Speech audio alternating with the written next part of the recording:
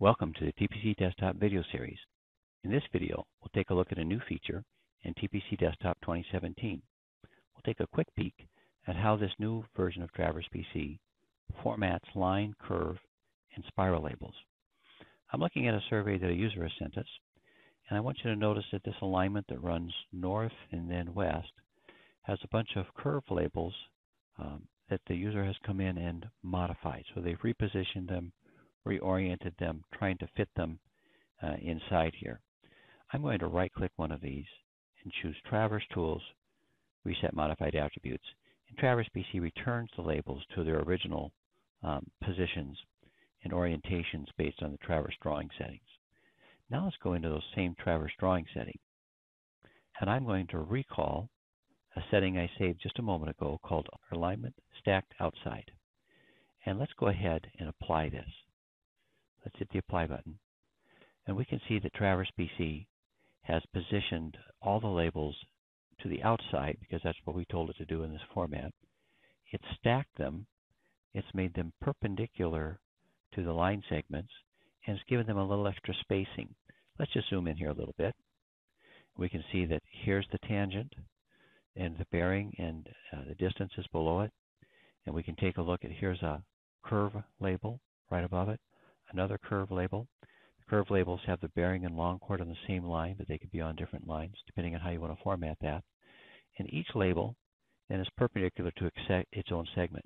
To see how that's opened up the drawing for us, and I could now come in and move these around if I wanted to or reorient them, but I might find that Traverse PC has done a great job for me just with the Traverse drawing settings without me doing anything else.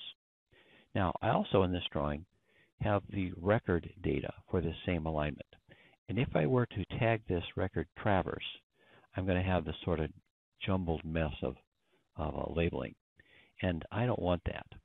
So I'm going to take one of these labels that it just created for me, and let's do what we just did a moment ago. We're going to go into the traverse settings, but this time I'm going to recall a format that I recorded earlier called record with brackets.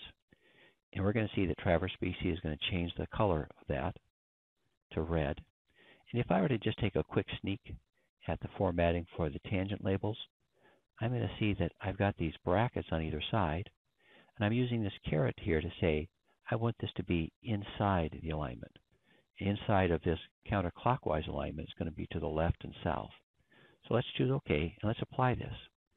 To see now how uh, Traverse PC has redrawn all that alignment information uh, inside this alignment.